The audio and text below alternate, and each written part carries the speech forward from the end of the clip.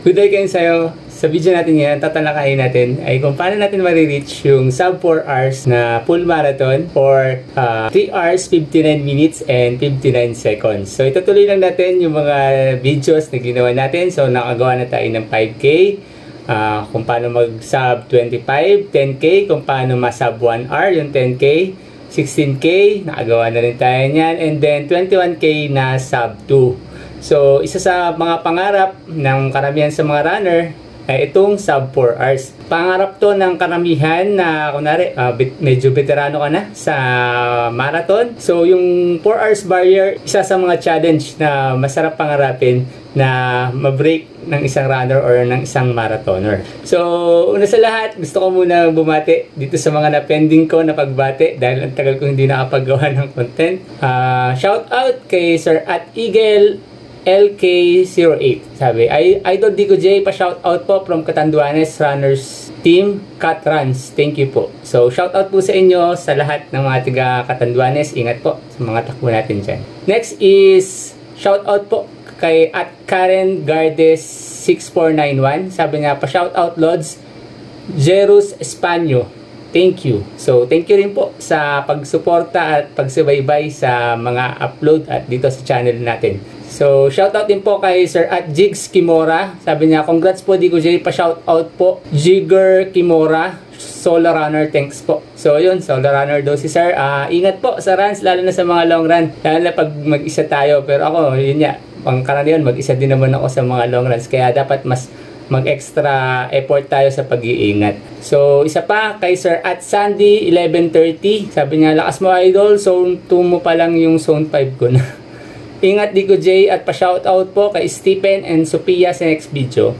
So, si Sir Sandy, na-meet ko na to sa Pampanga. Shoutout po sa mga kids niya, kay, kay Stephen and kay Sophia. At tingin ko, na-meet ko na rin to dun sa Clark nung minsan tumakbo ko. So, yun, proceed na tayo kung paano natin ma achieve yung sub 4 hours. So, sa mga nakatakbo na ng full marathon, uh, gusto ko malaman kung ano yung current PR nyo, personal record sa marathon. So, pa-comment natin dyan sa baba. Uh, tapos, yung sa mga nag aim ng unang marathon na nagpo mag, magpo 4 hours, so, comment nyo naman kung ano yung 21K na current na PR nyo. Dahil doon pa lang, masusukat na natin kung doable yung sub 4 hours. Dahil ang computation, pag half marathoner ka, is dadagdagan mo lang, idodoble mo yung oras mo. Kunwari ako, nung first time ko nag-marathon, ang oras ko yata nun is 136 sa half marathon. So, dodoblehin mo. So, 130, 130. So, uh, 3 hours na yon plus 6, 6, 12. O, di 3 hours 12 plus 20 minutes to 25 minutes. Ganyan yung idadagdag nyo. So, nakaka, ano pa lang naman po ako, ah, uh, tatlong marathon. So, nakakatawa na mas marami pa akong laro ng ultra marathon kesa sa full marathon. So sa ultra parang nakalima na ako. Dito sa marathon nakaka-tatlo pa lang ako. Uh, ito nga ang una yung Pit to Run Leg 3 2022. Rank number 4 ako dito na tumapos. 3 hours 32 minutes 48 seconds. So napakasakit nito. Uh, baguhan ako nito. So tandang-tanda ko from kilometer 11 hanggang kilometer 34 ako ay number 3. So, nag-expect na ako, nag-expect na rin yung mga 1 and 2 na ako yung kukuha ng number 3. And then eventually, kilometer 34 to kilometer 37, I hit the wall. So, literal na wall dahil doon din yung wall sa Clark. So, tukod ako doon, pinulikat, lakad, takbo, yun na lang nagawa ko. And then, naka-recover ako from 38 hanggang 42 kilometers pero hindi ko na inabot si Sir talagang walakas din. Veterano yun si Sir Rockboy Thailand dun sa Pampanga. So, 62 years old siya nung time na yun, nung tinalo niya ako.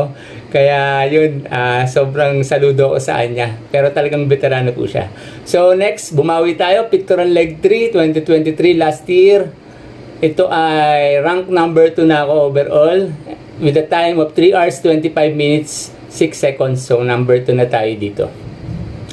And then itong last Milo natin, Milo Marathon Manila Leg. So 2024, rank number 14 overall, rank number 13 pag male lang, 3 hours, 23 minutes, 17 seconds.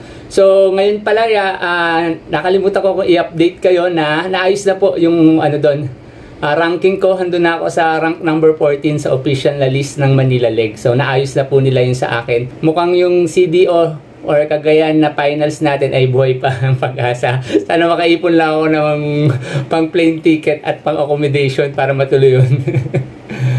so yun, proceed tayo sa mga splits. Ito kasi yun, para ma-reach natin yung sub 4 hours, syempre, ang magiging pacing natin doon is around 5 minutes 41 seconds per kilometer. Yun yung pacing na dapat at least malapit doon natin i-hold yung pacing natin. So, dito pa lang malalaman natin kung marireach natin yung target. May mga target splits tayo. Sa 5K, kailangan natin na umoras tayo sa first 5K ng 28 minutes 25 seconds. Sa 10K naman natin, at least malapit dito, 56 minutes 51 seconds. Sa 21K, half, half mark period, so kailangan natin tumapos ng 1 hour 59 minutes 57 seconds. So 25k dito, crucial ang 25k sabi ko po sa inyo. Lalo na sa mga nag-half marathon, ang 25k pag na-reach nyo na to, dito makakaramdam ka na ng kaibang pakiramdam. Seryoso to. Uh, dito medyo mararamdaman mo na medyo may mabigat na sa mga legs mo. Dito magsisimula nang makaramdam ka ng paunti-unti na pananakit, lalo na kung half marathoner ka. Dahil syempre lumampas ka na dun sa nakasanayan mong 21k. Naranasan ko po talaga to.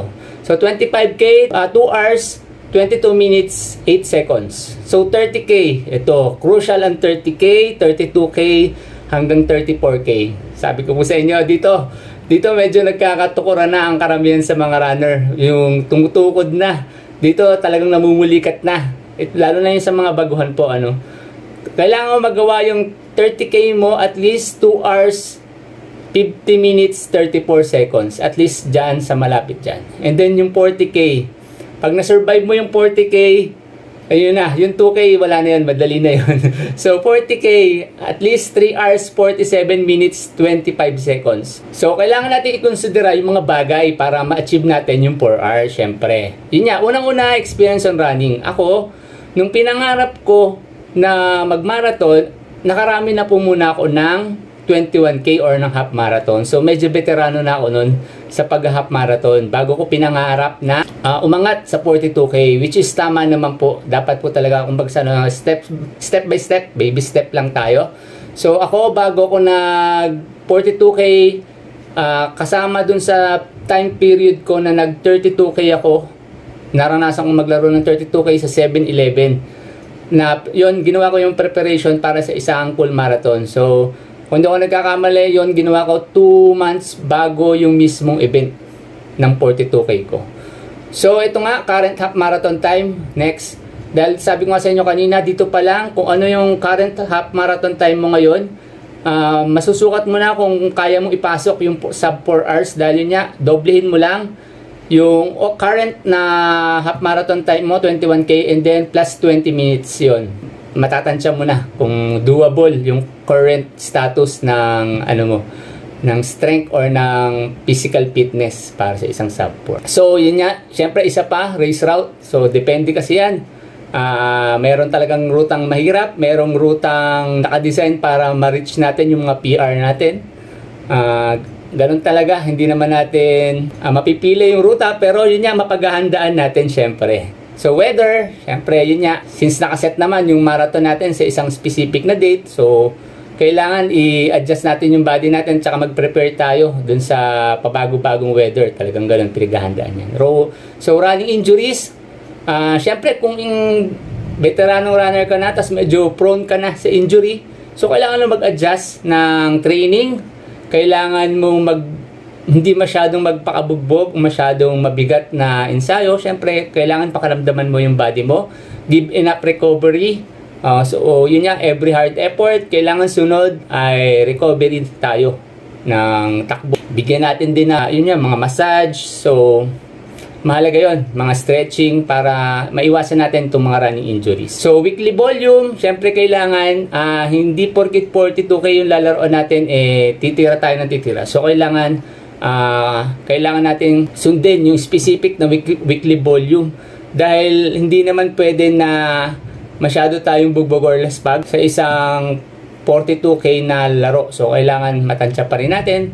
Ang weekly volume natin, ito na yung, dito magre-range yung dami ng takbo mo sa isang linggo. Around 50 kilometers to 65 kilometers, including na po dito yung mga long run natin once a week. So, dito punta tayo next is the key training paces. So, easy run, syempre, ito yung 80% ng training natin sa isang linggo. Yun nga, ang walang kamatayang conversational pace or chika pace, relax pace, or zone 2 running. Talagang napakalaga niyan, lalo na sa mga long distance na event gaya na itong 42K. So, marathon pace natin, tatandaan natin is around 541 per kilometer. Pwedeng bumilis ng konti dito. Pero, konti lang kasi baka masunog ka naman. So, wag, kung bumagal man, konting-konti lang din sana. Next is threshold or tempo pace. So, ang threshold natin is between 5 minutes 18 seconds to 5 minutes 30 seconds per kilometer. So, makapansin nyo, wala siyang interval. so, dahil nga, ano, lagi kong sinasabi sa inyo, focus tayo sa tempo, sa threshold, pag mas sumahaba yung event natin. So, pwede din naman po tayo mag-intervals, pero pangkaraniwan, basic lang din naman ang intervals na mangyayari dito. So, 1K repeats ang pangkaraniwan. Kunwari, 10 by 1 kilometer, so ulit-ulit lang. Isang kilometro, pahinga ka, so tira ulit. Yun, pang yun lang naman yung basic. So, next natin is how many day, how many days should I run in a week? So yun, 4 to 6 days a week para mag-build tayo ng consistency sa pagtakbo dahil talagang mahalaga ang consistency sa pagte-training para sa isang marathon or lalo na na dito sa sub 4 hours. So, yun ang tanong, ilang buwan ka magandang magprepara para dito is between 3 months to 4 months. So, kung isa kang half marathoner, uh, yun nga, 3 months to 4 months. Depende pa rin sa capacity mo kung talagang medyo mabilis-bilis na yung half marathon mo. So, kaya mo siguro hanggang 3 months. Pero pinakakasarapan is at least 4 months of training. So, pasok na tayo sa weekly training. So, ito pa rin yung ginagamit natin. Uh, Sunday, allotted to para sa race day or sa long run. Then Monday, syempre susundan natin ng uh, easy recovery. So, easy recovery is mas mabagal pa sa easy run natin. So, kung mas maikli din yung mileage nito, kailangan lang talaga makapag-recover yung body. So, Tuesday is zone 2 running or easy run. Tempo, Wednesday, uh, speed or interval kung gusto niyo mag-interval. So, allotted ang Wednesday para sa speed session. And then Thursday, easy recovery ulit tayo. Friday, zone 2 na easy run. And then Saturday, allotted to para sa rest day. So, pasok tayo sa mga speed workout na hinanda natin para dito. Uh, gaya nga ng sabi ko, pa, magpo-focus tayo sa threshold or tempo run. Ano ba muna yung tempo run? So, ito nga, ito yung pacing na malapit doon sa target pace natin. Mas mabilis to ng bahagya. Bakit mas mahalaga yung ma-develop yung threshold capacity ng body? Uh, Siyempre, uh, mas, mas mahaba kasi yung duration ng pagtakbo mo rito. So, asahan mo na mas mabigat yung pacing dahil mas, syempre, mas nangangawit ka na, mas hinihingal ka na.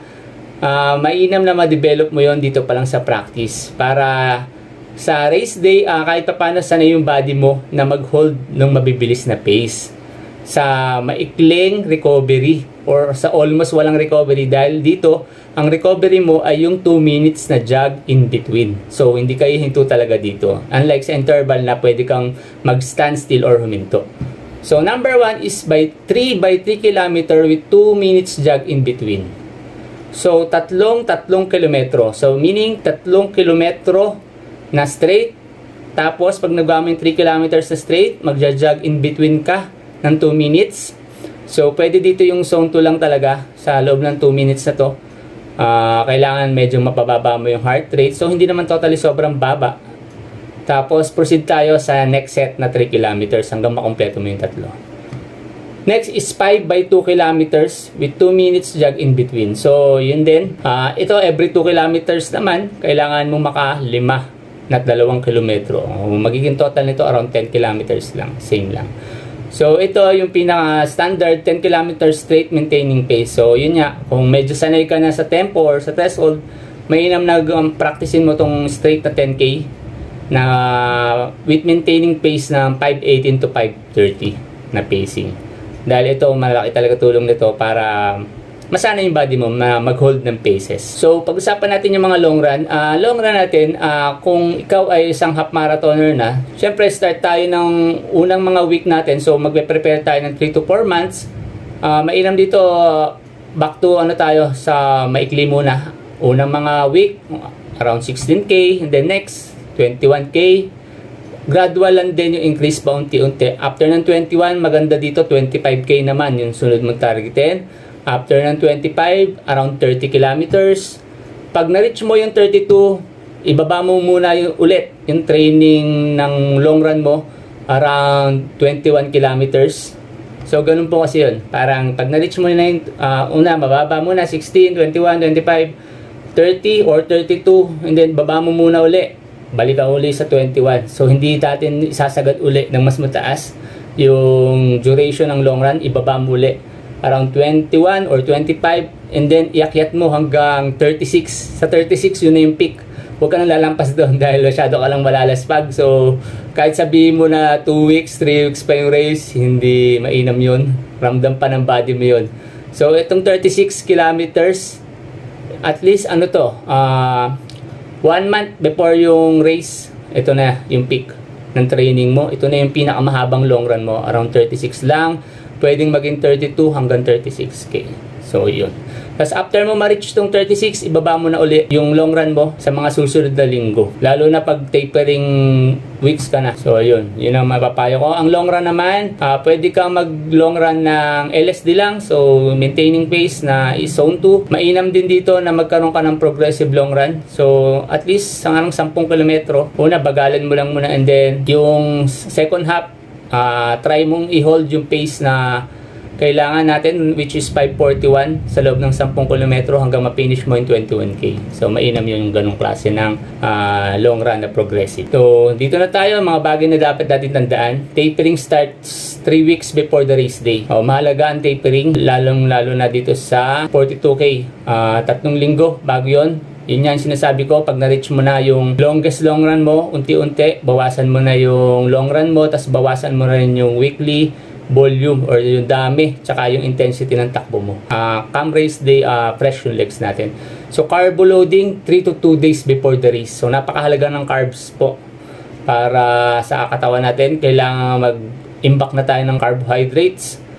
Uh, 3 to 2 days. Talagang dito may talab pa po yung pag kakarbo loading natin. Uh, dahil sa mismong event, uh, mahirapan po yung body mo na i-consume yung ikakarga mong carbs pag on the spot mo siya ikinarga. Not unless kung gel, dahil ang gel syempre in liquid form, ma mabilis talaga siyang ma-digest tapos mabilis siyang umepekto. So, yun nga. Next is get enough sleep one week before the race. So, tayo syempre hindi naman natin talaga tayo na karamihan hindi naman natin nasusunod yung 7 to 8 uh, ah, na hours na pagtulog. So, pero ito at least one week pag may pinaghahandaan tayo, unti-unti ibalik natin yung dami ng tulog natin para makarecover talaga yung body dahil ang body mas nakaka-recover siya pag natutulog tayo. Doon talaga nakakapag-repair yung body natin. So yun, dito na po natin tatapusin yung mga tips and advice na maipapayo ko para ma-achieve natin yung sub 4 hours marathon.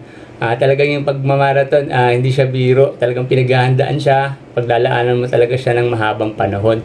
Pero sabi ko po sa inyo, pag na-achieve nyo naman yung goal nyo sa isang 42K, napaka-fulfilling talaga. Tsaka ang sarap sa pakiramdam. So, regardless yan sa time, wala tayong inaano dyan. Kung basta naibigay mo yung best mo at yun nga, uh, na-achieve mo. So, talagang napaka-fulfilling. Muli po marami pong salamat sa lahat-lahat sa mga patuloy na sumusuporta.